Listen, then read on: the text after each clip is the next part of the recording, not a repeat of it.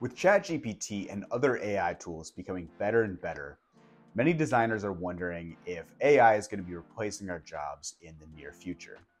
Unfortunately, I do think that AI will be replacing some UI UX jobs very soon.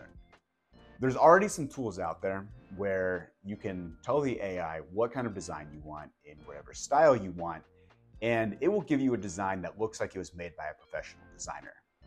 And these tools are inevitably going to be getting better and better. Many people who need design work done will be using these tools rather than hiring a designer. So, does that mean everything is hopeless for us? Well, I'm more on the optimistic side, and I, I, believe that there still will be design jobs in the future, but I think that the requirements to be an employable designer are going to change.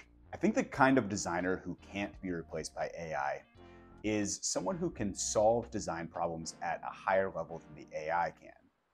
This is going to be someone who can think holistically about design problems and come up with extremely creative solutions. It's going to be difficult for AI to solve design problems creatively because in order to do that, it would have to analyze many different factors, such as the user's behavior, the particular company that it's for, other products across the competitive landscape, and then when multiple factors are considered like that in a design solution, the solution that a designer would come up with is going to be much more subjective and nuanced.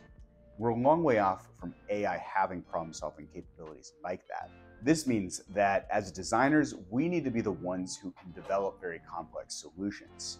We need to be able to put multiple pieces together and take many variables into account our solutions need to be ones that have a very well thought out point of view behind them. For example, let's say we're designing an MVP for a company to help them get traction and solve a very specific need for a specific kind of person. If we're the kind of designer who can help them figure out what that MVP should look like and has a good idea of how to iterate on it going forward, we're always going to be in demand. As we're progressing with our careers, we always need to be thinking about how we can provide insights and offer a perspective that only a great designer can. We need to focus on not being the kind of designer who just takes orders from clients or higher ups and really bring something to the table that is unique. If we can do that, I think we're going to be safe for years to come.